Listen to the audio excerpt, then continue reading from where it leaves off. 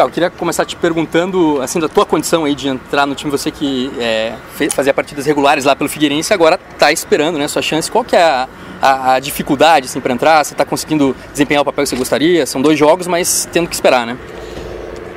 Bom, a gente sabe que a gente sabe da dificuldade que se encontra quando a gente está tá tentando é, conseguir um espaço no, no, no time.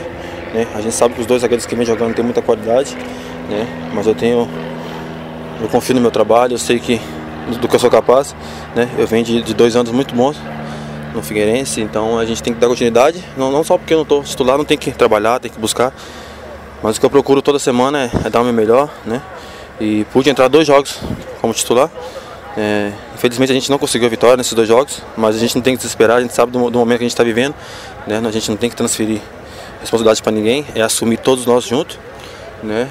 e trabalhar forte. É, a única maneira de sair da situação, de poder arrumar um, espaço também no time é trabalhando. A gente sabe que a gente tem qualidade, se a gente pegar firme a gente dá a volta por cima.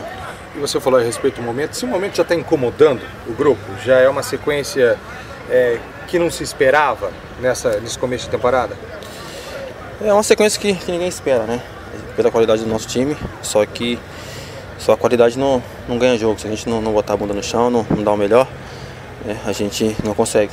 E os resultados também vem provando isso aí, que a gente tem que dar um pouco mais, a gente tem que se ajudar. Né, pela situação que o Atlético nos oferece, a gente tem que estar tá, tá brigando pela primeira colocação sempre. Né?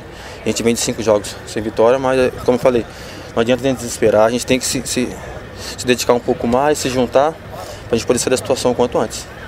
Queria que você me fizesse uma avaliação assim, né, de como está o momento do clube com a demissão do Cristóvão, a entrada do Bruno, o que, que mudou ali, é, tanto na questão de relacionamento com o treinador que é diferente, como na postura de vocês mesmo. Para falar é complicado, né? Foi pouco tempo, né? É, foi um treino só do Bruno e já, já vem direto pro jogo. Vamos esperar, né? Tem a semana para poder trabalhar, a gente já tem um jogo na quarta-feira difícil, né? A gente espera que, que com essa mudança possa melhorar, né? É, graças a Deus, com, com a mudança. A gente não, não teve a derrota, a gente teve empate. Lógico que a gente queria vencer, mas não conseguimos. É paciência, trabalhar. Porque quarta-feira a gente tem que procurar vitória para não poder ficar seis jogos sem, sem vencer. Neste momento, mudar a competição é, é bom? O Atlético pode tirar proveito? Já que na Copa Sul Minas Rio está com uma campanha de 100% muito próximo da classificação? A gente tem que mudar a, a nossa postura, né? A gente sabe que todos são jogos difíceis, né? Dependendo da competição que a gente vai disputar.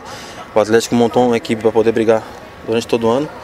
Infelizmente esse início de ano está sendo um pouco conturbado, mas a gente tem plena condições de poder dar a volta por cima e logo nessa competição já poder procurar uma vitória para a gente voltar a, sentir o gostinho da, das vitórias para a gente poder sorrir novamente. Quando, quando o Paulo Carneiro anunciou a demissão do técnico Cristóvão Borges, ele disse que ia cobrar fortemente o grupo de jogadores também. Hoje ele aqui falou, acabou de falar pra gente que não está satisfeito ainda. Queria saber a avaliação interna dos jogadores, do trabalho de vocês mesmo. Bom, a gente respeita toda a direção, né? Claro que eles não estão contentes, a gente também não está contente pelo momento. Lógico que a gente queria um momento diferente, um momento de, de alegria, de felicidade. Infelizmente a gente não está tendo, né? Mas como eu falei aqui, a gente tem que ter paciência, não adianta a gente se entregar agora. A gente tem que dedicar o máximo, trabalhar bastante para poder sair da situação quanto antes. Tiago, Claudinho Oliveira, técnico do Paraná, fez críticas muito duras aqui ao estádio VGD. O que você pode falar a respeito do campo? Eu não falo nada. A gente tinha que jogar de igual para igual, o campo tá ruim para os dois lados, né? Empatamos, tem que fazer o quê?